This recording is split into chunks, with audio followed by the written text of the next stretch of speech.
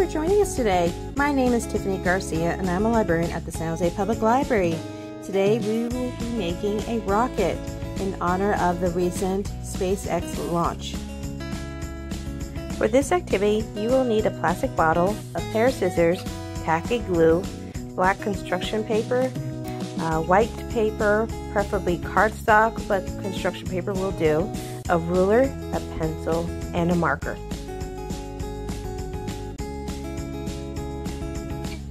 First, get your plastic bottle and make sure to remove any labels it might have.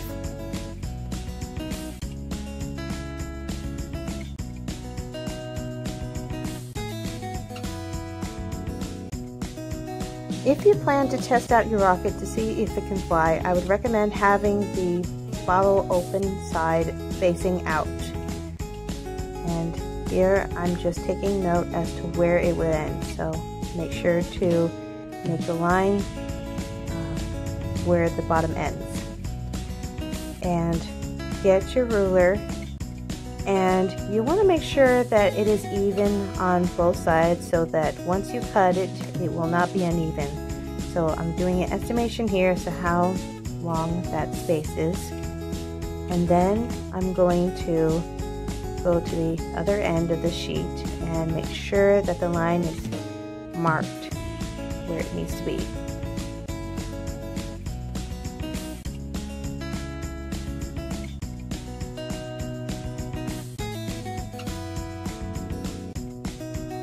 Now that I have at least three markings, I'm going to align them and draw a line across over all three of the little dots I made.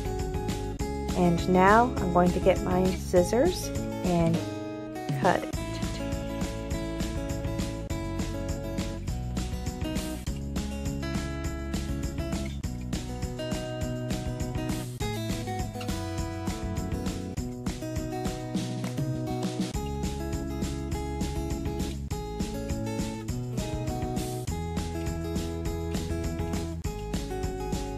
Now I'm going to place my bottle over it just to see, make sure it's exactly the size that I want it to be. And remember, I'm having the bottle open side sticking out a little bit. You'll see why later. Now I'm going to get my tacky glue and add some glue around the sheet. It is best to add some glue on the edges one over here because that's where the bottle is going to be touching the sheet. Need to peel this off. yeah, tacky glue tends to dry, so I'm peeling off that hard piece off. And now I'm going to go ahead and add some glue onto my little sheet here. Remember, uh, probably want to make a thin line, not a ton, just a little bit because this will be squeezing out and maybe some lines over and over again around the sheet just to make sure it stays in place. It doesn't uh, shift too much on the bottle once I'm trying to wrap it around.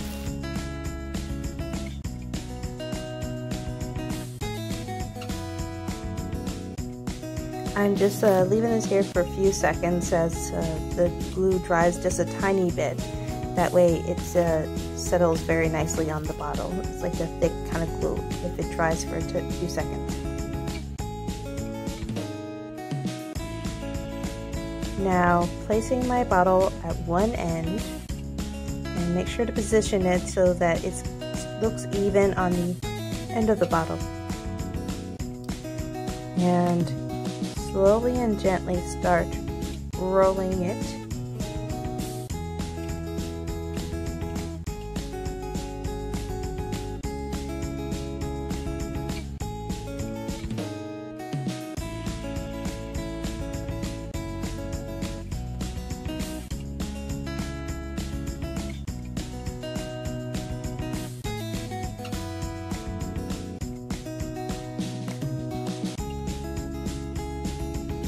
Now make sure to uh, squeeze this on.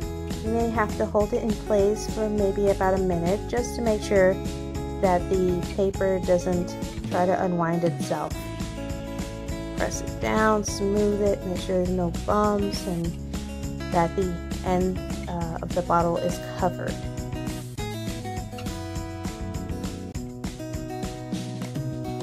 After about a minute or two, you will be ready to continue. So now that the glue has dried,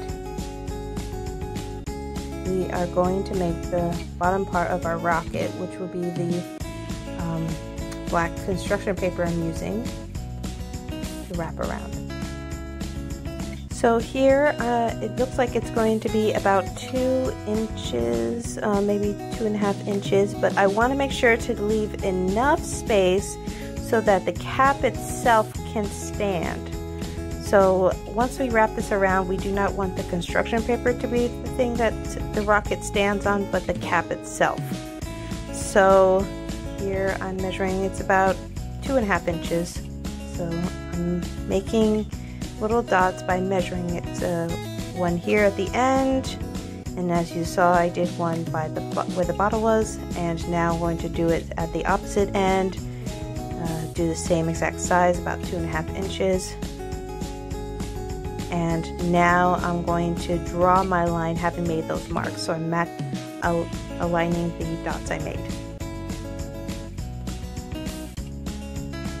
Now I'm going to cut uh, my black construction paper piece uh, using that line I just drew.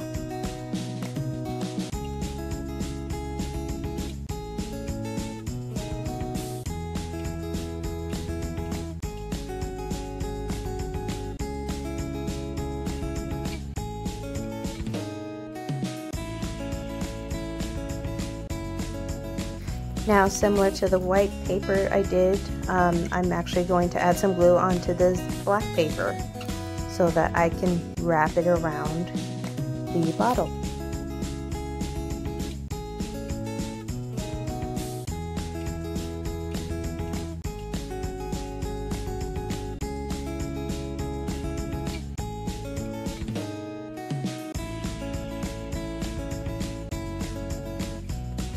So here I am taking my time to find the exact alignments because I'm matching up my cap here so that I can start rolling and hopefully once I finish rolling it will stay straight. It won't be in an angle. The sheet will not go twisted around the bottle.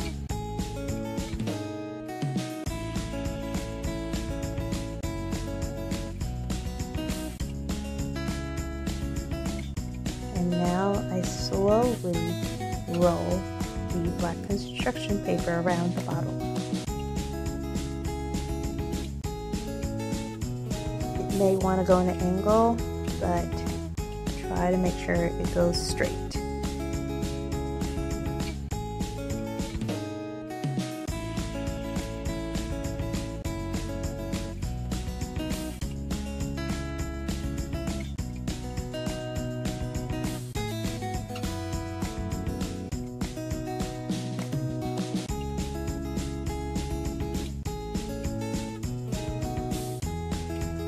And here again hold it for maybe about a few seconds to a minute. Just try to make sure it stays on. It doesn't try to undo itself. But before the glue dries make sure to do a test run. Make sure it could stand on its own.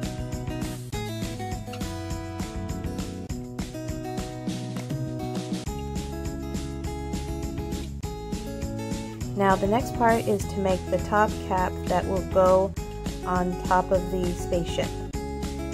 Now you can uh, do this freehand, which is what I'm doing. I'm basically um, getting a strip of paper and what's left of my uh, construction paper that I was using for my spaceship body.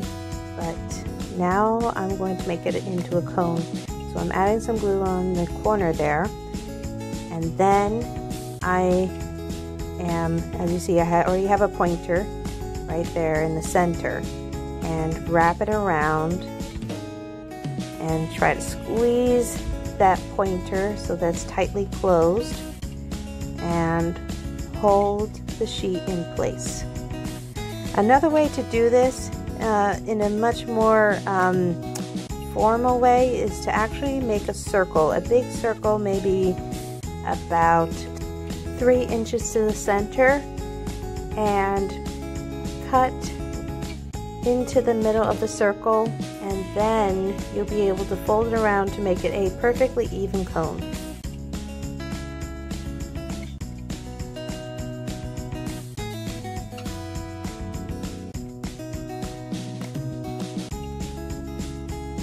But here, as you see, I am doing this just by freehand, by making a simple cone out of a strip of paper and keep trimming it until it is even all the way around.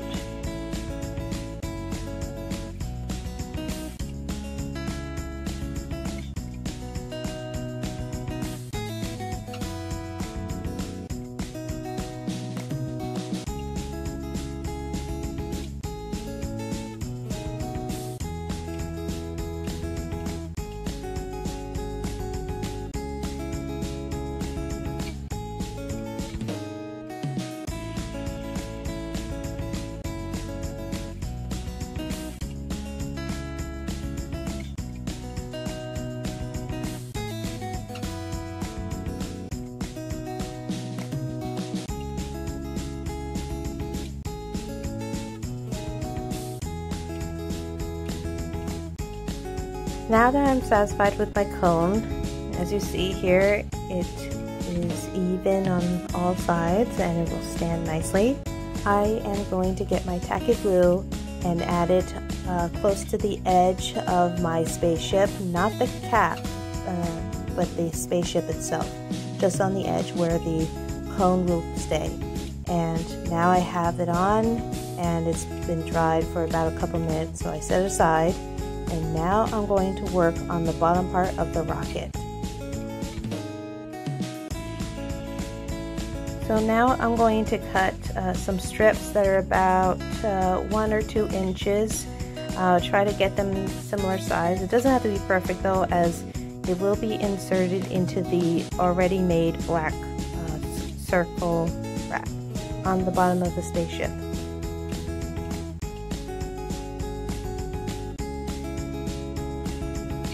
So as you can see here, each strip's about four inches and about uh, two inches thick. And uh, just using something to wrap it around so that it doesn't bend in, I am using this marker to wrap it around. Um, right now it's just tightly, but uh, I am going to undo it, so don't worry, it won't be as tight. Just to give it its shape. And now I'm going to make it a little wider and uh, practice putting it inside. And as you see, the top part will be bending in and squeezing in, but uh, remember, we want to keep the bottle cap, the opening of the bottle itself, uh, sticking out further than the rest of the uh, black strips, or at least evenly, to make sure that it can stand later. So right now what I'm doing is just adding some glue onto the closed flap of the uh, black construction strip. And now I'm just squeezing it closed for a few seconds.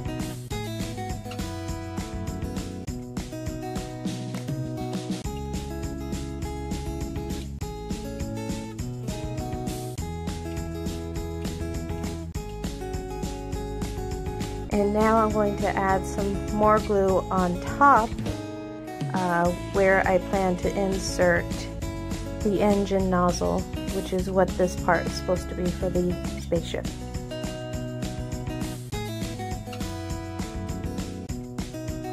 Now because I plan on uh, trying to make this thing fly, I am going to take the cap off, but if you do, Make sure that the bottle is dry. If it's not dry inside, then make sure to put in maybe a piece of a paper towel inside. And squeezing this in. Now you can do this as many times as you want around. Uh, I'm going to do this about uh, two more times to have three engines, but you can insert as many as you want as you can fit into the uh, spaceship structure.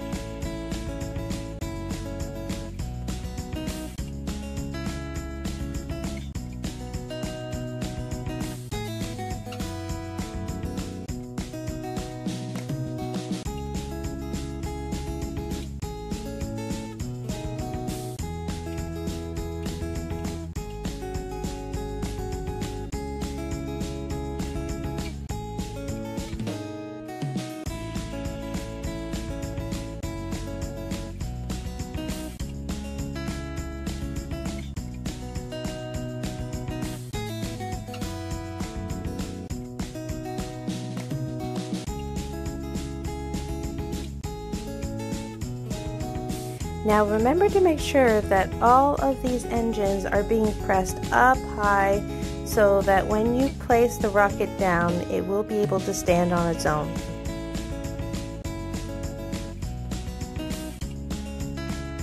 Now that you're done making your rocket, you can decorate it however you like.